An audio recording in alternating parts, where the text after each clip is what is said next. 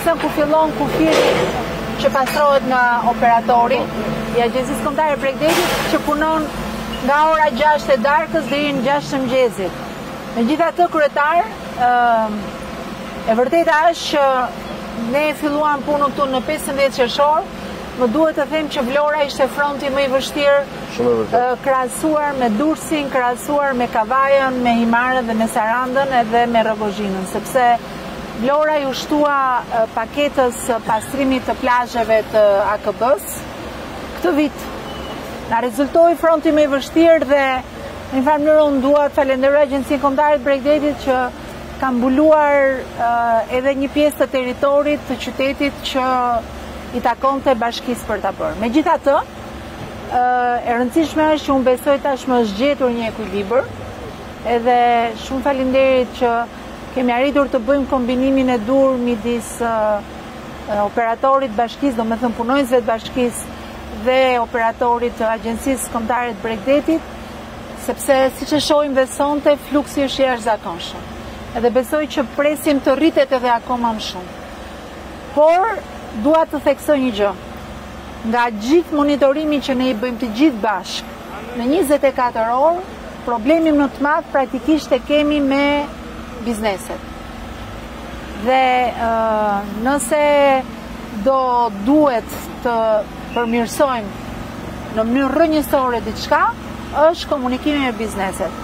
E, e dua Ta përfitoj këtë moment dhe për të dhënë një mesazh bizneseve.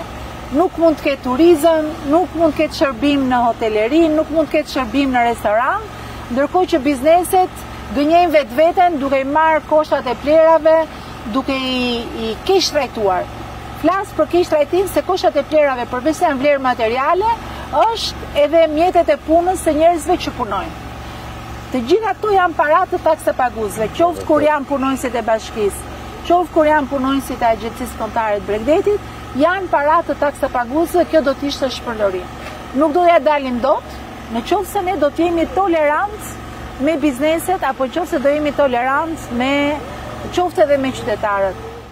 Është sezoni turistik, është pothuajse po shkon drejt pikut të saj, turje ka shumë, turistë ka shumë, por ne Gjithmonë bëjmë thirrje sa i përket edhe angazhimit të gjithë qytetarëve, ndërgjegjësimit të qytetarëve dhe aq më tepër operatorëve turistikë, hotelierë, sidomos përgjatë Lungomares. Pse e them këtë?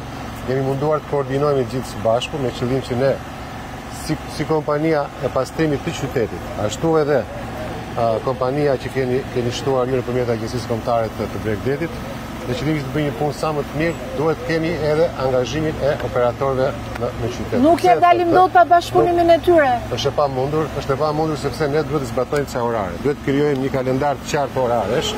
Kur kur vjen makina aty për të tërhequr uh, uh, mbetjet, shohim që nuk ka një bashkëpunim koherent. Pra në vijim të asaj që edhe ju sapo përmendët zonja ministre, është shumë e rëndësishme që ata që nuk reagojnë në kohë edhe vazhdojnë të kryejnë të njëjtën shkelje, ne duhet të aplikojmë gjoba. Policia bashkiake ka filluar të aplikojë gjoba aty ku konstaton shkelje dhe kjo është shumë e rëndësishme. Pse? Që të paktën të evitojmë përsëritjen, përsëritjen e të njëjtit gabim. Them se gjërat do të shkojnë mirë. Ne kemi konstatuar edhe gjithë defektet sa i përket pastrimit të qytetit dhe jam i sigurt që në vazhdim gjërat do të jenë akoma më mirë. Është ndoshta vija bregdetare me ngjeshjen më të madhe të stacioneve të plazhit, rreth 190 stacione plazhi. 190 kontrata të lidhura në të gjithë vijën bregdetare, duke filluar nga plazhi i Akërnisë, po. edhe duke përfunduar në Orikum. Okej. Edhe puna që bëhet nga ana e operatorit është 18 kilo, 28 kilometra të gjithë vijës bregdetare që mbulohet nga operatori dhe operatori për shkak se edhe të fluksit që thamë që ka pas shumë problematika me mbetjet e ka kaluar edhe pjesën e kontratës duke pastruar deri në 4-5 herë brenda 12 orëve. Kemi një fluks më të madh turistësh këtë vit. Unë nuk e di se sa do të jetë uh, numri final që do do numërojmë në fund të vitit, Por mund t'ju them që deri në fund të qershorit, krahasuar me 6 mujorin e parë të vitit të kaluar, kemi 33% më shumë. më shumë hyrje vetëm vizitorë të huaj. Nuk llogaris këtu fare, gjithë turistët vendas që venë e vijnë dhe qarkullojnë nga Tirana, Vlorë edhe anasjelltas. Kështu që bashkia që normalisht i organizon kapacitetet e veta me popullsinë vendase, duhet të kuptojë që Vlora i trefishon, katërfishon, ndoshta... Mbetjet. Mbetjet, sepse trefishon, katërfishon popullsinë. Praktikisht ndryshimi më lejoni ta them ndryshimi me disa javë përpara është shumë i madh. Shumë i dukshëm. Ka filluar të të funksionojë kombinimi midis të dy ekipeve tona. Uh, por puna më e madhe në Vlorë është ndërgjegjësimi, edukimi, komunikimi, edhe pjesë e ndërgjegjësimit është edhe ndëshkimi. Shumë e vërtetë. Qoftë policia bashkiake, qoftë policia e shtetit, ë uh, duhet të jenë Po e them të pamëshirshëm. Edhe gjithë kjo gjithë kjo dyndje që është shumë e mirë sepse sjell ekonomi, sjell para, nuk do të kishte kuptim dhe nuk mund të na sjelli cilësinë qoftë se nuk mbajmë plazhet. Unë ju përgëzoj edhe për plazhin uh, publik që keni krijuar, stacionin uh, po, e ri. Po. Por edhe ajo kërkon kërkon shumë mirëmbajtje nga ka angazhim nga bashkia. Ne po bëjmë jemi pothuajse në të motivuar të jemi për ditë atje, gjatë gjithë ditës të file, që gjithçka të jetë e pastër, të jetë mëse akomoduese për gjithë ata që preferojnë të të akomodohen në plazhin publik, apo të qëndrojnë në plazhin publik. Falas. Falas, patjetër, falas.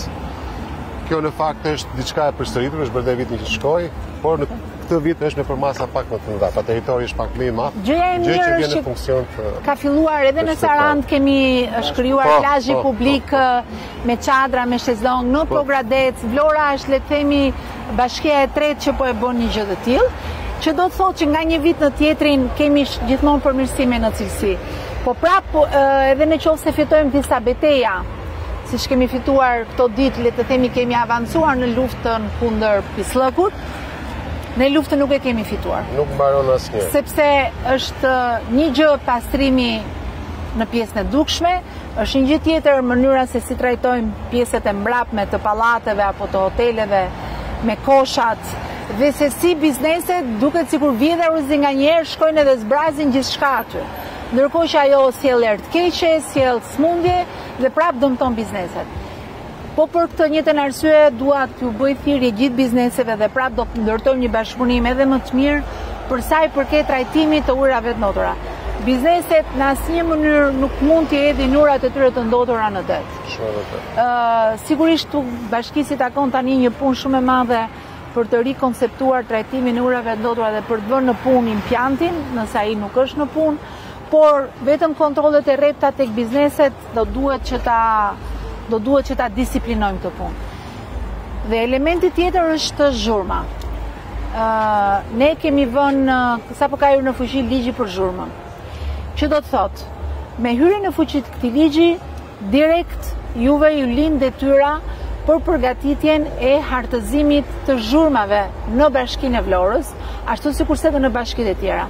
Ne në ministri po përgatisim një udhëzim që t'ju vijmë në ndihmë se si të hartohet dhe ideja është që duhet të identifikohen në territore Zonat larg, larg E caktoni ju. Zonave të banuara. Larg zonave të banuara, larg hoteleve ku ka familjarë, zona të cilat mund të vihen në dispozicion të bizneseve që duan të zhvillojnë, le të themi, muzikën e natës ose muzikë e cila mund t'i pëlqejë dhe tërheqë një klientelë të caktuar, por nuk shqetëson njeri. Praktikisht nuk e shpikim ne rrotën, modelet janë, Kështu që ju që tani duhet të identifikoni ku ndodhen po. këto territore. Ë, nga ana tjetër, bizneset do duhet të kuptojnë që tani duhet të investojnë qoftë për izolimin akustik të lokaleve ku ka muzikë, qoftë për ndërtimin e lokaleve larg zonave të banuara. E para, e dyta, po kështu ju lind detyrimi, jua them që tani që të merrni masat për të bërë blerjen, e aparateve matës të certifikuar. Ju lind juve ky detyrim, sepse policia bashkiake do t'i përdorë. Na lind ne si Agjenci Kombëtare e Mjedisit dhe policisë së shtetit, sepse policia e shtetit, sidomos në mënyrë taksative për muzikën dhe gjatë sezonit veror, ka të drejtën jo vetëm të kontrollojë nivelin e zhurmës, Pak më parë kaluam pranë një bari ku muzika ishte anormale. Edhe unë e kuptoj që na panë ne që e ulën zërin, që të jemi të sinqertë. E vërtetë. Shumë shpejt, muzika do matet sipas nivelit të decibelve të përcaktuar dhe policia ka të drejtë jo vetëm t'i gjobisë gjë që e keni dhe ju të drejtë t'i mbyllë biznesin Mirëmbrëma, si jeni? U lodhët? Puna mbarë. A mos si ka luat? Mirë. Si duket puna më e lehtë apo më e vështirë se javët e para? Duket çik më e disiplinuar? Po, po. po. Çunat angazhohen, domethënë edhe turnin e natës dhe të ditës, janë pjesë e kontraktorit shtesë normalisht që po suporton bashkinë edhe